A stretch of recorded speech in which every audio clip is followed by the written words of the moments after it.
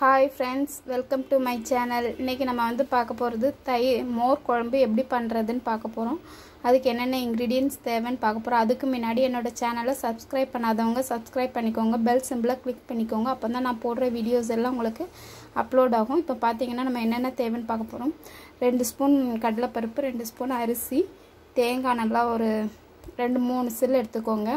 பச்சை மிளகா நம்ம எவ்வளோ காரம் வேணுமோ அந்த அளவுக்கு காரம் எடுத்துக்கோங்க. அப்புறம் தேங்காய் இது வந்து ஜீரகம் வெள்ளைப்பூண்டு. இதை வந்து நம்ம வந்து தேங்காயோடு சேர்த்து அரைக்கணுங்க.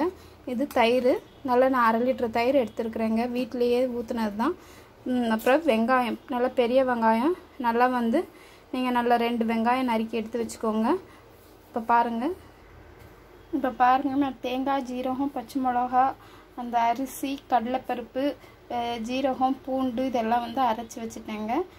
மிக்சியில் போட்டு நல்ல ஒரு நல்ல மையாக அரைச்சிடுங்க. இப்போ வந்து நம்ம வந்து இப்போ இதை என்ன பண்ணலான்னு பாருங்கள் இப்போ நம்ம வந்து தயிரை வந்து நல்லா சிலுப்பிக்கிடணுங்க. இதை நல்லா மிக்ஸ் பண்ணி நம்ம நல்லா இது பண்ணிக்கிடணும். நல்லா மிக்ஸ் பண்ணிக்கிட்டோம்னா தயிர் வந்து நல்லா இப்படி கட்டி கட்டியாக இருக்கிறது வந்து இல்லாமல் நல்லா மிக்ஸ் ஆகி வச்சுக்கணுங்க. இப்போ பாருங்கள் கடாயில் எண்ணெய் ஊற்றிருக்கிறேன் இதில் வந்து ரெண்டு உளுத்தம்பருப்பு போட்டுக்கலாம். ரெண்டு கடுகு போட்டுக்கலாம். கொஞ்சம் ஜீரகம் போட்டுக்கலாம் நம்ம. கடுகு வெடிச்சிருச்சு. கொஞ்சம் ஜீரகம் போட்டுக்கலாம். இப்போ வந்து நம்ம நறுக்கி வச்சுருக்க வெங்காயம்.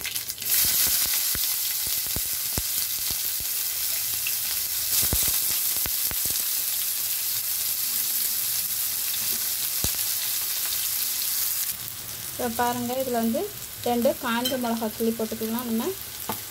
இப்போ கொஞ்சம் கருவேப்பிலை போட்டுக்கலாம் நம்ம. போட்டு நல்லா வதக்குங்க. வெங்காயம் வந்து நல்லா வதங்கிடணும். கோல்டன் ப்ரௌன் வர வேண்டாம். வெங்காயம் வதங்கினா மட்டும் போதும்.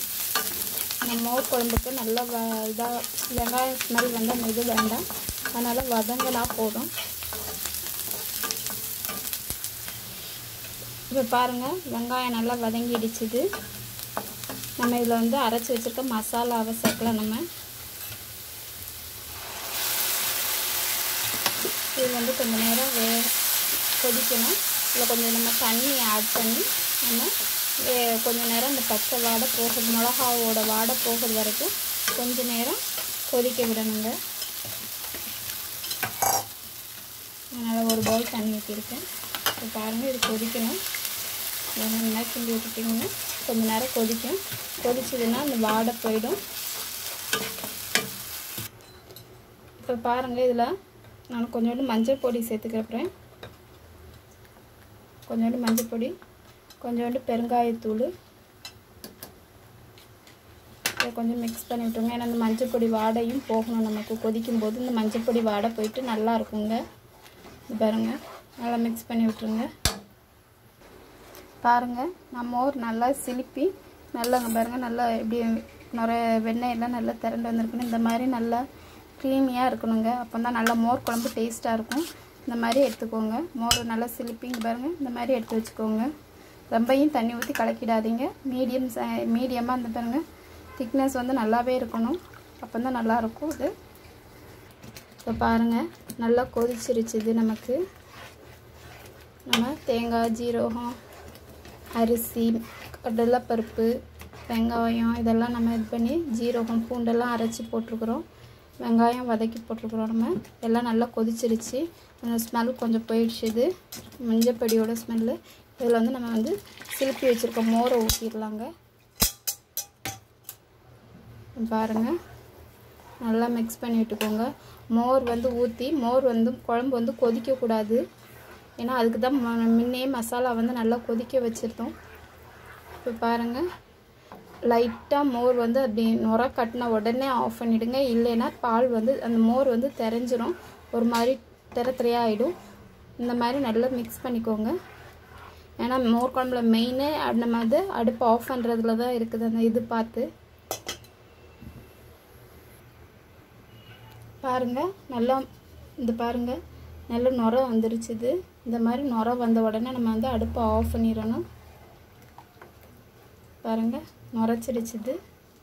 இப்போ நம்ம மோர் குழம்பு ரெடி ஆகிடுச்சிது அடுப்பை வந்து ஆஃப் பண்ணிடலாம் நம்ம. இப்போ வந்து இதில் வந்து மல்லியில் லேஸாக போட்டுக்கோங்க ரெண்டு.